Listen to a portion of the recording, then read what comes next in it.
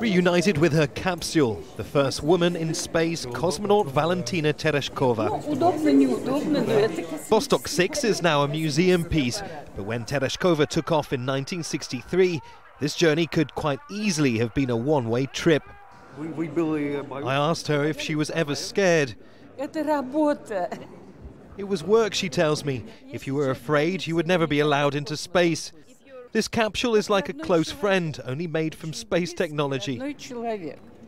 Tereshkova returned a hero of the Soviet Union and remains to this day the only woman to fly a solo mission into space.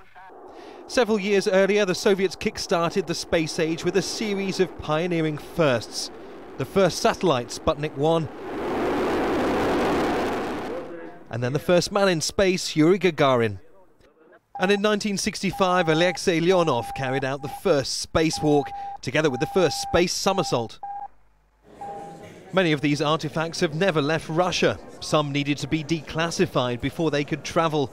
The Soviet Union's early achievements were seen as a challenge by the US, who eventually beat Moscow in putting a man on the moon. It may be a legacy of Cold War tensions that often, here in the West, these major achievements are sometimes eclipsed by NASA's later moon landings. But when it comes to the space race, there's one clear winner the Soviet Union.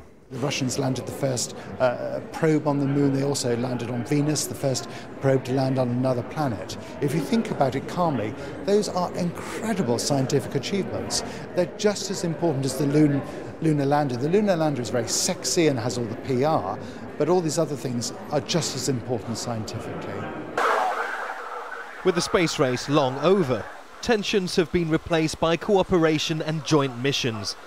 After the US grounded its shuttle fleet in 2011, it now pays Russia $63 million per astronaut per trip.